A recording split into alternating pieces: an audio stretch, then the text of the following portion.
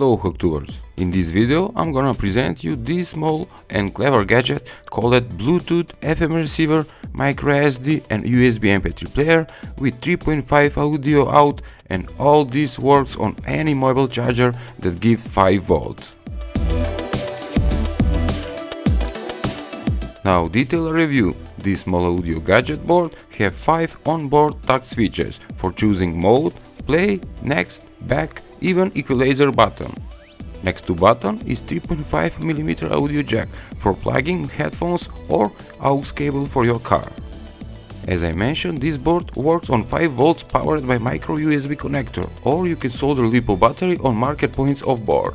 On other side are placed both antennas, Bluetooth and FM antenna, and on back of this board micro SD card reader and USB port for multimedia storage.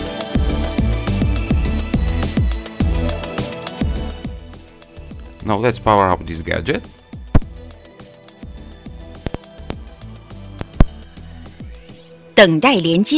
What? On Chinese? Definitely I got the wrong version. Now let's listen up the FM tuner. It works.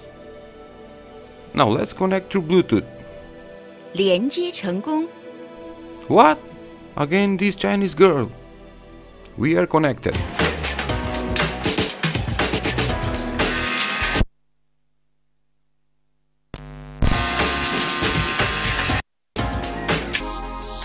I hope you like this video, if so, hit like button and subscribe if you are not Hacktuber. Thanks for watching.